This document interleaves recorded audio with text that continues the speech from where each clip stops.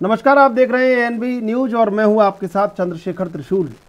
कांग्रेस के वरिष्ठ नेता और पूर्व प्रदेश अध्यक्ष किशोर उपाध्याय अपनी ही पार्टी को पत्र लिखकर नई पहल शुरू करने की नसीहत दे रहे हैं। कांग्रेस नेता किशोर उपाध्याय ने कहा कि जिस प्रकार से उत्तर प्रदेश में प्रियंका गांधी ने 40 प्रतिशत टिकट महिलाओं को देने की बात कही है, उसी तर्ज पर उत्तराखंड में भी कांग्रेस पार्टी को 40 प्रतिशत टिकट महिलाओं को विधानसभा चुनाव में देनी चाहिए। कांग्रेस नेता ने अपनी इस मांग को लेकर पार्टी के प्रदेश प्रभारी, प्रदेश अध्यक्ष, नेता प्रतिपक्ष और वरिष्ठ नेताओं को पत्र लिखकर चुनाव में महिलाओं को 40 फ़ीसदी टिकट देने की बात कही है। साथ ही कांग्रेस नेता ने कहा कि उत्तराखंड की जनता को घरेलू सिलेंडर मुफ़्त में मिलना चाहिए, क्योंकि बीजेपी सरकार ने जिस प्रकार से वनों पर कानून लगाकर जनता को अधिकार विहीन किया है, उससे जनता को परेशानी हुई है।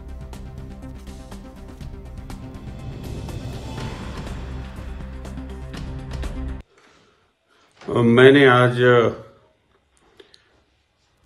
अपने सम्मानित प्रभारी देवेंद्र यादव जी को अपने कांग्रेस के सभी वरिष्ठ नेताओं, जिसमें हरीश रावत जी हमारे सम्मानित प्रदेश अध्यक्ष गणेश गोदियाल जी, नेता प्रतिपक्ष प्रीतम सिंह जी, माननीय मुख्यमंत्री जी और राज्य के सभी राजनीतिक दलों से आग्रह किया है कि जैसे उत्तर प्रदेश में प्रियंका गांधी वाड्रा जी ने 40 प्रतिशत टिकट महिलाओं को, नारी शक्ति को देने का संकल्प किया है। तीन रसोई गैस सिलेंडर वहाँ मुफ़्त देने की बात की है। उसी तरह उत्तराखंड में भी 40 प्रतिशत टिकट महिलाओं को देनी चाहिए, इसका मैं पूरा समर्थन करता हूँ। और यहाँ तो कम से कम महीने में एक गैस सिलेंडर निशुल्क मिलना चाहिए क्षतिपूर्ति के रूप में, जो हमारी रसोई गैस की लकड़ी जो है सरकार ने छीन ली है। और जो हमारे वनाधिकार हैं, जिसमें हम वनों पर अपने पुस्तैनी हक हकूकों की बात कर रहे हैं और 2006 के वनाधिकार कानून को लागू करने की बात कर रहे हैं, वो यहाँ पर लागू मातृशक्ति का बहुत अहम योगदान रहा है तो हमारी सरकार बिल्कुल निश्चित रूप से माताओं को, ज़रूर बहनों को इसमें आने वाले जो विधानसभा के जो चुनाव हैं, उसमें एक अहम ज़िम्मेदारी देगी। और अभी भी क्योंकि हमारी बहुत सारी जो बहनें हैं, वो पूरा चुनाव का संचालन, सह प्रभारी के रूप में उनको बनाया गया चुनाव का संचालन देख रही है। और आने वाले समय में उनको निश्चित रूप से टिकट में भी बिल्कुल ज़्यादा से ज़्यादा भागीदारी सरकार देगी, हमारे संगठन देगा, ऐसा मुझे पूरी उम्मीद है।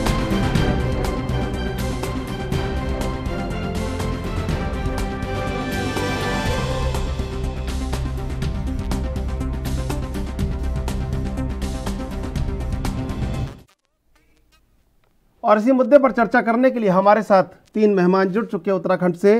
संगीता शर्मा आपसे सीमा डोरा बीजेपी से और कमलेश रमन कांग्रेस से।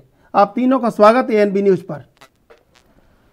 सबसे पहला सवाल आ, सीमा जी आपसे कि सरकार में हैं आप और ये जो भागीदारी की बात चल रही है तो इससे एक ये जन आंदोलन की तरह ये सवाल खड़ा हुआ है कि महिलाओं की भागीदारी सुनिश्चित होनी चाहिए और राजनीति में उनका भी अपना एक सुरक्षित स्थान होना चाहिए। तो अब चूँकि आप तो सह प्रभारी लगा चुके हैं सत्तर विधानसभाओं में तो आपने तो अपनी मंशा जता दी है। फिर भी कैसे देखते हैं इस फैसले को कि और कितना इसको परिपक्व होना चाहिए? जी स्वागत करते हैं इस बात का और हमने पहले भी पंचायती चुनाव में भी हमने पचास परसेंट महिलाओं को दिया हुआ है हम्म। तो ऑलरेडी और अभी भी हमने प्रभारी भी बनाए और महिलाओं को हमेशा आगे बढ़ाने में हम लोग विश्वास करते हैं और साथ ही एक महिला होने के नाते मैं इस चीज़ का मैं भी समर्थन करती हूँ कि महिलाओं को आगे आना चाहिए फिफ्टी परसेंट वैसे भी महिलाओं का अधिकार क्षेत्र है क्योंकि फिफ्टी परसेंट महिलाएँ हैं हमारे यहाँ तो उनका होना भी चाहिए और बाकी सरकार जो भी हमारा शेष नेतृत्व डिसाइड करेगा, वो करेंगे। कमलेश जी, ये जो उत्तर प्रदेश से बात उठी है कि लड़की हूँ, लड़ सकती हूँ, और ये उत्तराखंड तक भी पहुँच गई है बात तो आप कैसे देखते हैं कि उत्तराखंड में इससे क्या आप बड़ा काम कर सकते हैं? भागीदारी को लेके भी और राजनीतिक पृष्ठभूमि को लेके भी। आ, बिल्कुल बहुत अच्छा आ, प्रियंका गांधी जी ने उत्तर प्रदेश में किया है महिलाओं को 40 प्रतिशत टिकट में भागीदारी। हम्म। आ, क्योंकि जब तक महिलाएँ विधानसभा में नहीं पहुंचेगी तब तक उनका प्रतिनिधित्व नहीं दिखाई देगा। हम्म। तो इसलिए जो प्रियंका गांधी जी ने कदम उठाया है बहुत ही सराहनीय कदम है क्योंकि जिस समय स्वर्गीय राजीव गांधी जी प्रधानमंत्री थे उन्होंने पंचायतों में नगर पालिका में पचास प्रतिशत महिलाओं को टिकट देकर के अपनी मंशा दिखा दी थी ज़ाहिर कर दी। और उसी उसी का नतीजा रहा कि आज पंचायतों में हमारी पचास परसेंट महिलाएँ चुनकर आती हैं। हम्म। और इस बार जब प्रियंका गांधी जी ने उत्तर प्रदेश में चालीस परसेंट टिकट देने की भागीदारी की बात महिलाओं की करी तो पूरे देश के अंदर महिलाओं में एक उम्मीद जगने का काम हुआ। उसी की तरफ़ पे उत्तराखंड में भी। हम्म। ज़्यादा से ज़्यादा महिलाओं को टिकट मिले।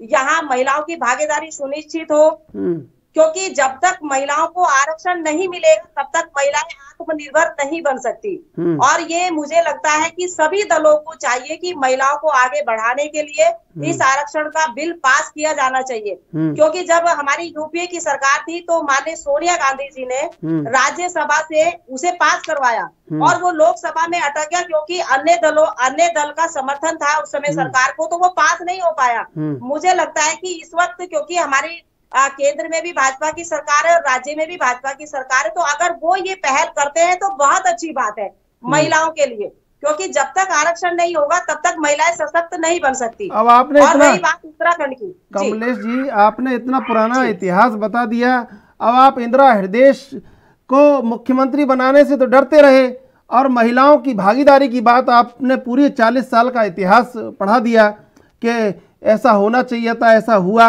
लेकिन इंदिरा हृदय इतनी जिसको दबंग और इतना राजनीतिक अनुभव था उनको आप मुख्यमंत्री बनाने से डरते रहे। अब महिला भागीदारी की बात जो आप कर रहे हैं बड़ा सोच समझ के करनी होगी आपको क्योंकि उत्तराखंड का इससे विशेष जुड़ाव है। जब हम इंदिरा हृदय की बात कर रहे तो। जी जी। मैं, नहीं बिल्कुल मैं आपकी बात से सहमत हूँ। उत्तराखंड महिला मैं संगीता शर्मा से मैं संगीता शर्मा से सवाल कर लेता हूँ फिर धीरे धीरे आप सोच लीजिएगा। कि अब इसका जवाब क्या देना है और कितना सुरक्षित और कितना संवैधानिक जवाब होना चाहिए? संगीता शर्मा जी, आम आदमी पार्टी ने भी झंडे गाड़ रखे हैं उत्तराखंड में। अब ये झंडे कितने मज़बूत होंगे और महिलाओं के अधिकारों की कितनी पैरवी करेंगे? की 2022 में उत्तराखंड में चुनाव लड़ रही है और एक तीसरे विकल्प के रूप में समक्ष है। महिलाओं की जब बात आती है तो उत्तराखंड को बनाने में महिलाओं का बहुत बड़ा योगदान रहा और उत्तराखंड की महिलाएँ हर क्षेत्र में बहुत आगे हैं। चाहे हम तीलू रौतेली जी की बात करें, चाहे हम गौरा देवी जी की बात करें, बहुत सी महिलाएँ उत्तराखंड से अलग अलग क्षेत्रों में अग्रणीय स्थानों पर रही हैं। तो मेरा एक ही सवाल है, क्या 40 प्रतिशत कांग्रेस का ये कह देना, यूपी में भी और उत्तराखंड में भी, किशोर उपाध्याय जी ने जो कहा कि उत्तराखंड में भी 40 प्रतिशत महिलाओं को विधानसभा में हिस्सेदारी मिलनी चाहिए। तो क्या केवल हिस्सेदारी मिलने मात्र से उत्तराखंड का विकास हो जाएगा? आज तक ये दो पार्टियाँ रही, कहीं ना कहीं हमें महिलाओं के और क्षेत्रों के बारे में भी सोचना पड़ेगा। इन दोनों पार्टियों ने आज तक महिला चिकित्सा के बारे में क्यों नहीं सोचा? उत्तराखंड में आज भी गर्भवती महिलाएँ रास्ते में सड़कों पर प्रसव करने के लिए मजबूर हो जाती हैं।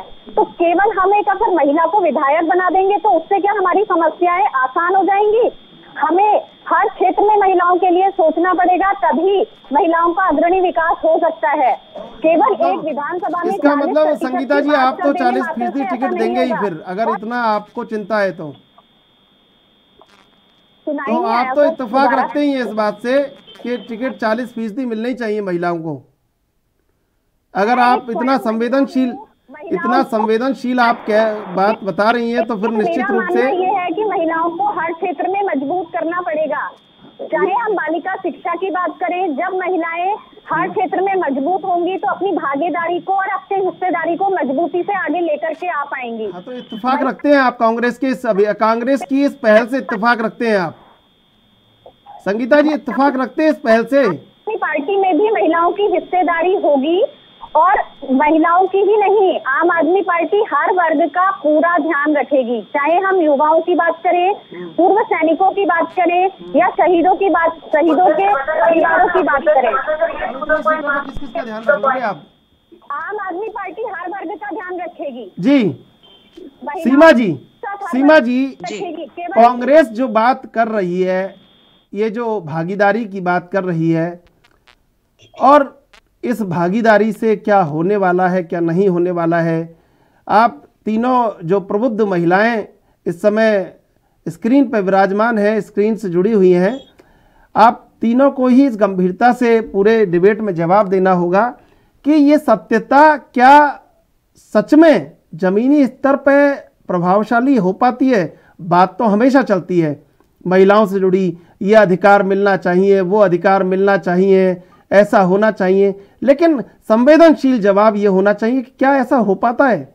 या सिर्फ़ चुनावी शगल है? भारतीय जी भारतीय जनता पार्टी काम पे ज़्यादा विश्वास करती है, बातों में कम करती है। हम लोगों ने ये आज कह रहे हैं, चालीस परसेंट मिलना चाहिए। हमारी पिछली योजनाएँ देखिएगा, हमने इतनी योजनाएँ बच्चों के लिए बच्चों से लेके छोटी बालिकाओं से लेके महिलाओं तक के लिए, उद्यमिता के लिए, रोज़गार देने के लिए, उनको पढ़ाने के लिए उनको एफ़ उनको देने के लिए, साइकिल्स देने के लिए, कितनी योजनाएँ हमने चला दी ताकि जो महिलाएँ हैं, वो बढ़, आगे, लड़कियाँ आगे बनकर बढ़कर आगे आए और महिलाएँ जो हैं, वो हर क्षेत्र में तरक्की करें।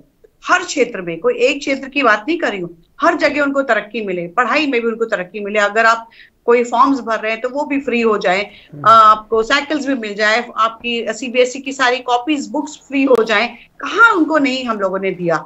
आप खाली परसेंटेज की बात करो कि इसको मिल जाने से फिफ्टी परसेंट या फोर्टी परसेंट अगर हम दे देते हैं ये तो सिर्फ़ चुनावी मुद्दे हैं सर जी। चुनाव जीतने के लिए कुछ बातें कर दी जाती है। धरातल पे आप आएँगे, फिर ये शून्य हो जाएँगे। क्योंकि ये काम पे विश्वास नहीं करते। ये लोग बातों पे विश्वास करते हैं खाली।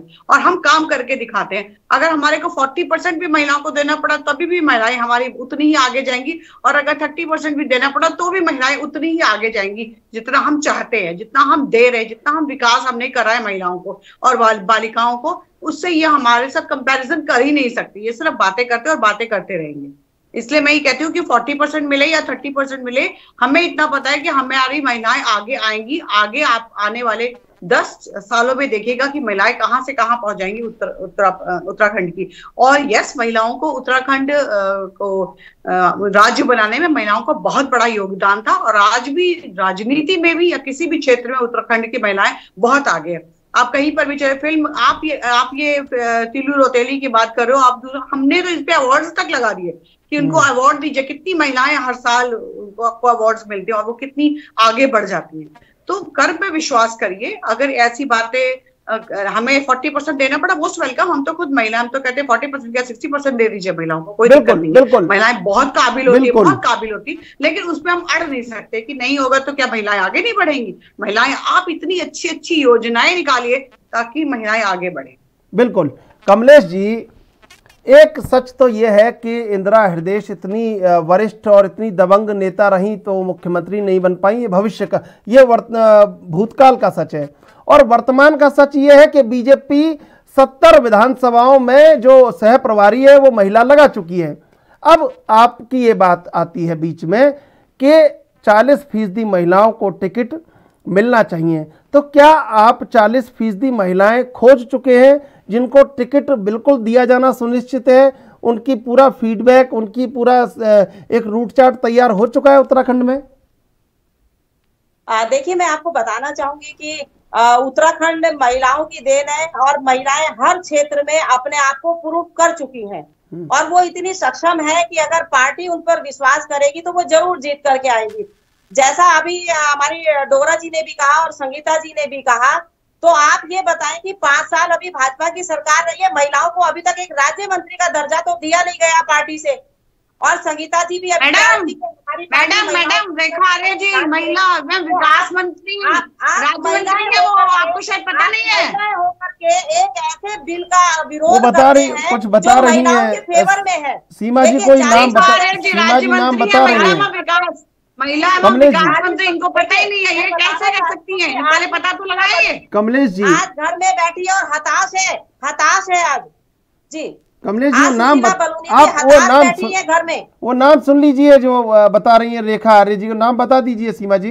देखिए रेखा आर्य जी तो विधायक है मंत्री है उनको देना ही पड़ेगा। उनको ऐसी कोटे में अरे अभी आप कह रहे हो किसी को दिया नहीं है और अभी आप कह रहे हो देना ही पड़ेगा। आप एक बात पे रहिए ना एक मुद्दे पे रहिए कि है ना मंत्री। आप ऐसे कैसे अब तो मंत्री नहीं है।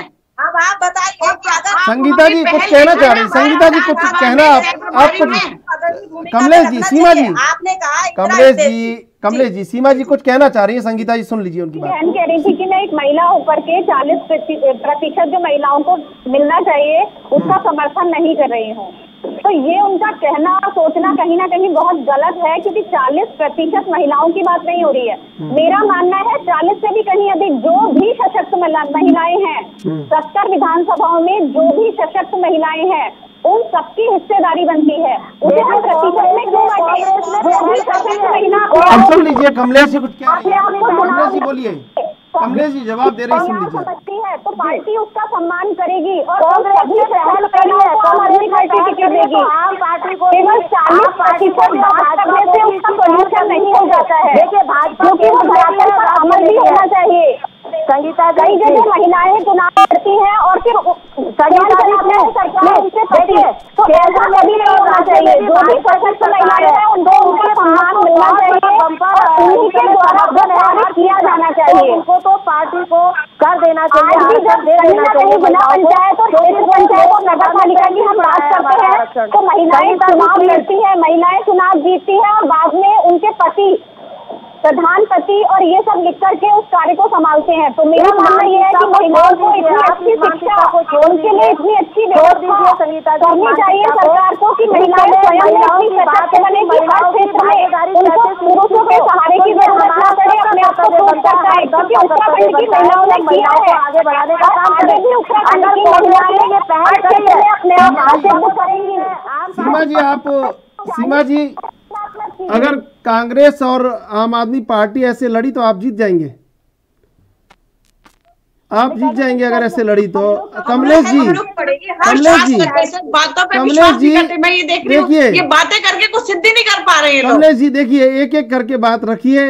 अगर बात आपकी आपकी महिलाओं तक जनता तक नहीं पहुँच पाएगी तो उन बातों का क्या फ़ायदा?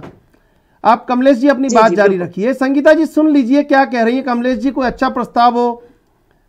जी। देखिए मैं ये कहना चाहती हूँ कि जितने भी हमारे दल हैं सबको मिलकर के महिलाओं को आगे बढ़ाने का काम करना चाहिए। अगर एक दल कहता है चालीस परसेंट तो दूसरे दल को भी महिलाओं को आगे बढ़ाने का प्रस्ताव देखिए अब देखिए कमलेश जी क्योंकि केंद्र में कमलेश जी समझिए कमलेश जी समझिए देखिए वो वो क्यों करेंगे? वो तो सफल हो चुके हैं आप प्रयोगवाद के दौर से गुजर रहे हैं आप नए नए प्रयोग कर सकते हैं आपको प्रयोग करने की खुली छूट है आप कुछ भी प्रयोग करें लेकिन दूसरा दल क्यों करेगा? उसका अपना एजेंडा अपनी विचारधारा है। जी बिल्कुल बिल्कुल बिल्कुल हम इस चीज़ में नकार ही नहीं रहे हाँ, बिल्कुल बहुत अच्छी बात। हम ये कह रहे हैं हम ये कह रहे हैं कि केंद्र में भी भाजपा की सरकार है राज्य में भी भाजपा की सरकार। हम्म। तो एक ये बिल पास कर दे तो ज़्यादा अच्छी बात होगी। खाली प्रभारी बनाने से विधानसभा प्रभारी बनाने से तो इतिश्री नहीं हो सकती ना महिलाओं की। महिलाओं की भागीदारी सुनिश्चित करने ये के लिए सीमा जी आपको जवाब तो देंगे पड़ेगा आपको। सीमा जी जवाब दे दीजिए कमलेश जी तो जो पूछ रही है उसका। जी देखिए मैंने कहा ना कि किसी चीज़ की शुरुआत होती है। हमने शुरुआत करी ना प्रभारी बना के सेवेंटी परसेंट तो आपको इस चीज़ का स्वागत करना चाहिए। मैंने आपको क्या बोला? आप कमलेश जी आप तब तक नहीं बोलेंगे जब तक मैं पूरे जवाब नहीं दूँगी। मैंने आपको क्या बोला कि आपका बहुत अच्छी बात है आपने फोर्टी परसेंट मांगा आई एम वेरी हैप्पी कि ठीक है being a lady we should agree with it लेकिन आगे जो भी होता है नेतृत्व जो भी डिसाइड करेगा, हम उसको आप करेंगे, लेकिन ये नहीं कि हम उस पर अड़े रहेंगे कि नहीं फोर्टी परसेंट है तो फोर्टी परसेंट ही होना चाहिए। क्योंकि कई बार ऐसा होता है कि अगर हम प्रैक्टिकली देखें, हमसे ज़्यादा जो होते हैं एक्सपीरियंस लोग होते हैं जेंट्स में कि जो चुनाव जीत सकते हैं हमको उस चीज़ में ज़्यादा नॉलेज होती है। या लेडीज़ में और जगह ज़्यादा अच्छी नॉलेज होती है तो हम उस जगह भी उनको सेटल कर सकते हैं। उनको उनको कहीं राज्य मंत्री बन सकते हैं उनको कहीं पर अ, किसी कमीशन में सेट कर सकते हैं जहाँ पर वो लोग ज़्यादा क्वालिफाइड हमें या उस तरीके की महिला चाहिए होती है। मैं खुद कमीशन में रही हूँ पहले। तो मैं ये बात कहती हूँ कि मैं ये नहीं कहती कि मुझे किसी मंत्री से मैं कम थी या अ, किसी अ, क्या कहते हैं कि आपको कोई टिकट ना मिले तो आप उस चीज़ से कम रहे होंगे। लेकिन महिलाओं की भागीदारी सरकार चलाने में होनी चाहिए। फोर्टी परसेंट, उसमें टिकट फोर्टी परसेंट दिया जाए, ये ज़रूरी नहीं है। लेकिन जब भी कहीं पर भी, आप कहीं पर भी सेटल करो तो महिलाओं को फोर्टी परसेंट फोर्टी परसेंट दे दो। ये बात मैं आपसे सहमत हूँ इस चीज़ से कि हाँ महिलाओं की भागीदारी बहुत ज़्यादा ज़रूरी है बताइए कमलेश महिलाएँ कहीं ना जता दी है। कहीं पुरुषों से ज़्यादा को काबिल है मेरे हिसाब से। बताइए कमलेश जी आप सहमति जता दी है अब क्या होगा क्या सीमा जी ने क्या कहा? सीमा जी ने लास्ट में क्या कहा कि पुरुष ज़्यादा समझ में नहीं आया क्या? अरे आप इनकी मैंने बात क्यों मैं पकड़ रही हैं अगर तो हमने चाहूँ कह मैं दिया। अगर बताऊँ तो मैं कहती हूँ महिलाएँ ज़्यादा सक्षम है। पुरुषों से भी। A मैं ये बात कह सकती हूँ। मैं एग्री करती हूँ। देखिए महिलाएँ हर क्षेत्र में अपने आप को प्रूव कर चुकी है। हम्म। जब उत्तराखंड का आंदोलन चल रहा था तो किसी भी दल ने ये नहीं सोचा कि कौन से दल की है। उन्होंने सड़क पे उतर के इस लड़ाई को लड़ने का काम किया। भाजपा में महिलाएँ हो कांग्रेस में महिलाएँ हो सबने सड़क पे उतर के इस उत्तराखंड को बनाने का काम किया। सबने मिलकर के किया। हम्म। चाहे माणा से लेकर के उत्तराखंड की देहरादून शहर की महिलाएँ हो सबने ने इस उत्तराखंड को बनाने में अहम भूमिका निभाई है लेकिन कहीं ना कहीं वाकई हम्म। ये बात बिल्कुल सच है कि 21 साल का हमारा उत्तराखंड हो चुका है हम्म। पर महिलाओं को वो सम्मान अभी तक नहीं मिल पाया जो मिलना चाहिए था तो हम सबको मिलकर के हम ये नहीं कह रहे कि हमारे जो पुरुष भाई है वो कम है वो हमें मालूम है कि वो हमसे ऊपर हो सकते हैं हमसे अच्छी उनको नॉलेज हो सकती है कोई दिक्कत नहीं है। कमलेश जी जी। आप इंदिरा जी के मुद्दे पे मौन रही बोली नहीं कुछ ये ठीक बात नहीं, नहीं। मैं- आपको बोलना चाहिए था कि जो जो सरकार जब सरकार जब गिरने वाली थी तो हरीश रावत के संग वो खड़ी रही पूरी निष्ठा से। कांग्रेस का सिपाही बन के वो लड़ती रही लेकिन जो सम्मान उनको मिलना चाहिए था उत्तर प्रदेश के बाद जब उत्तराखंड मिला बना तो वो सम्मान उनको नहीं मिल पाया। तो जब वो जी, मैं- सम्मान मैं नहीं मिल पाया तो ये आगे मैं- कैसे मैं- सुनिश्चित हो कि आगे मिल जाएगा ये आपको बोलना चाहिए था मैं मैं मैं जवाब देना चाहूँगी इस पर मैं जवाब देना चाहूँगी। आ, जिस वक्त 2000 2000 में हमारी सरकार बनी उस वक्त नारायण देव तिवारी जी जब मुख्यमंत्री बन के आए। उस वक्त भी इंदिरा हृदय जी का नाम आया लेकिन इंदिरा हृदय जी ने नारायण तिवारी जी का नाम ऑफ़र किया उन्होंने प्रस्ताव रखा उनके लिए। हम्म। वो वहाँ बने।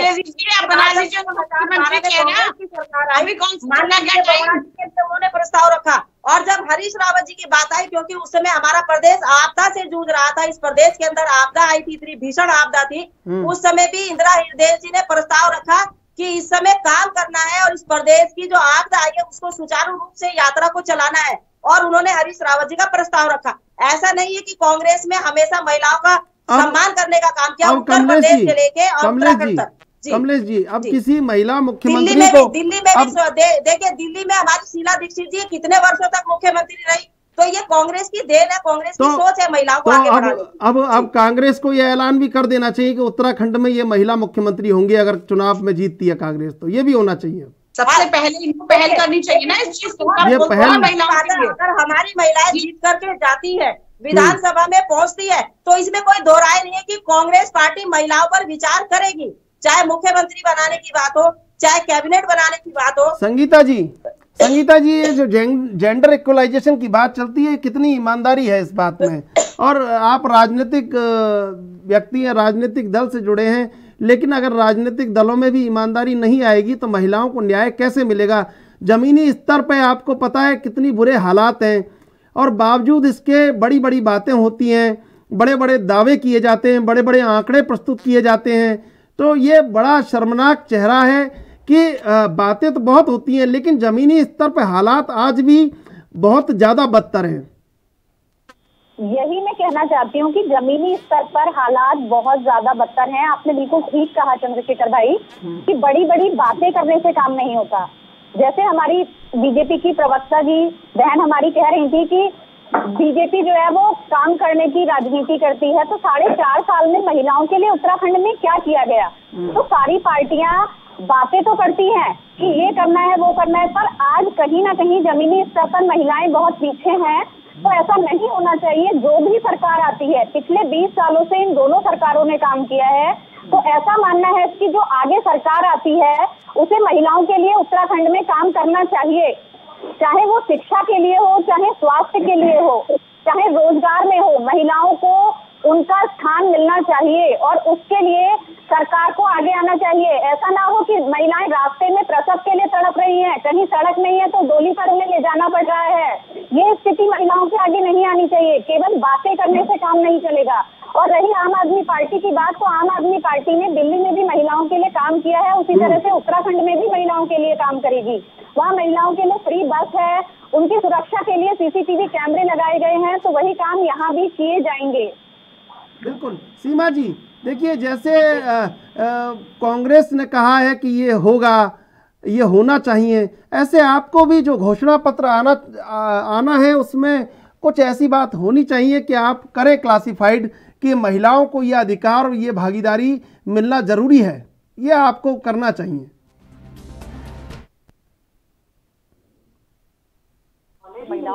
उत्तराखंड में क्या हुआ ये कहते हैं कि प्रसव के आपको पता नहीं है कि यहाँ पर आयुष्मान के तहत पूरा के पूरे प्रसव की सुविधाएँ हैं। पूरा ए टू जेड उनको महिलाओं को मिलता है। आप किसी भी हॉस्पिटल में चले जाइए महिला सिर्फ़ एक पर्चा बनाएगी उसको फुल ट्रीटमेंट है विद मेडिसिन इनको शायद पता ही नहीं है।